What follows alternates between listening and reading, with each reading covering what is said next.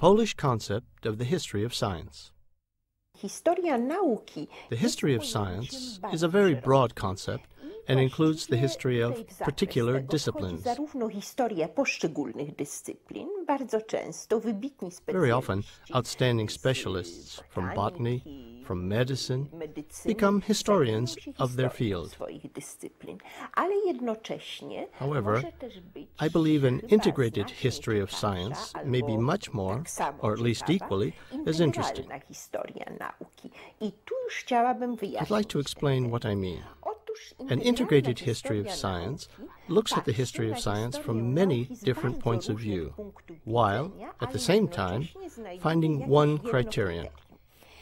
For example, if the paradigm of a given era is evolutionism, epoce jest na przykład that means that we can look at other sciences from that point of view, not only the environmental and biological sciences, but the social sciences as well. nauki społeczne. Jeżeli dzisiaj If today we can call electronics or computers a paradigm, then we can look at other sciences, not only the technical sciences, from that point of view, including even the study of music or literature. Nawet na nauki takie jak językoznawstwo, jak literaturoznawstwo.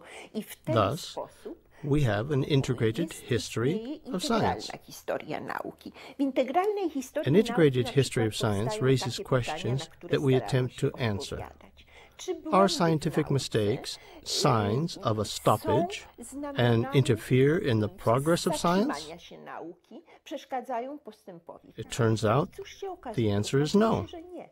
Błędy w nauce Mistakes made in the scientific process postępów w nauce, also contribute to scientific progress, as they very often lead to new discoveries, and it all keeps going forward. idzie ciągle do przodu, także błąd Thus, a mistake does not disqualify the past, but has a future meaning inasmuch as it may przyszłościowe, bo- bo lead to new discoveries and new ideas. Rodzą się jakieś nowe, często odkrycia, nowe pomysły.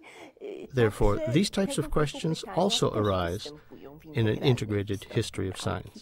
No i wreszcie Finally, zagadnienie We have an always relevant question. Co jest w What in science is beneficial and, as is often the case, what is harmful? strony korzystne, to z drugiej strony jest bardzo szkodliwe. To też są pytania z These are also questions on the margins of science and scientific history. Nauki, tym bardziej, że w Furthermore, in the history of science, that which exists today is part of the past tomorrow, while the future stands before us. Otóż zagadnienia takie, Issues such as the invention of the atomic bomb are great discoveries indeed. And while nuclear power may bring great benefits, no, wielkie odkrycia i its improper use can threaten the entire world. jądrowe mogą przynosić duży pożytek, ale złe wykorzystanie może grozić całemu światu, prawda? Bo z tego może wyniknąć zagłada świata. Jest jeszcze There's another problem. problem. Przecież ile Look at the huge sums of money spent on exploring the cosmos, while there is so much misery on Earth. w tej chwili na świecie. Więc znowuż So, we need to balance the money spent on purely scientific endeavors naukowe, a z against the needs of people now and in the future. Teraz i w przyszłości. To są wszystkie These questions are all a part of an integrated history of science. Nauki. Polska koncepcja The Polish concept of the history of science differs from both the concept in Western and in Eastern Europe. na zachodzie Europy, jak i na wschodzie Europy. I tutaj mamy We have our own particular view, which is steadily generating interest around the world. Stopniowo zresztą budzi zainteresowanie coraz większe. Na, w krajach zachodniej In Western and Eastern Europe, the history of science means rozumie się historię sciences such as mathematics, physics, biology, and technology. However, the history of the social sciences is not included. Meanwhile, in Poland, Professor Suchodolski proposed that the history of social sciences must be treated the same as the so-called hard sciences. His reasoning was quite interesting.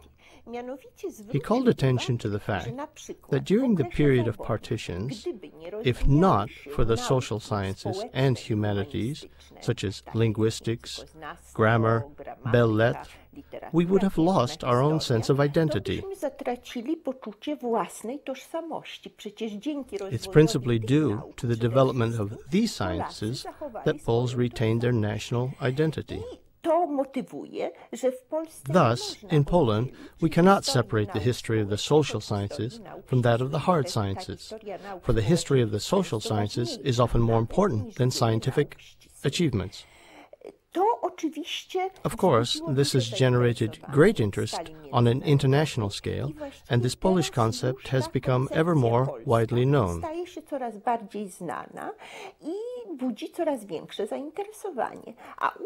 Here in Poland, the structure of the history of science and didactics at the university level is based on this concept.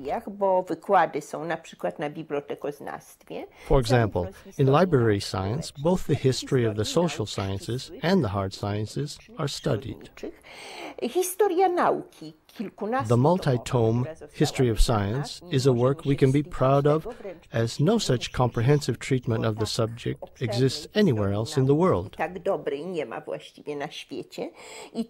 Here, too, the history of the social sciences is treated as an equal to the history of all the other disciplines. And so, this concept has become a part of our daily professional practice.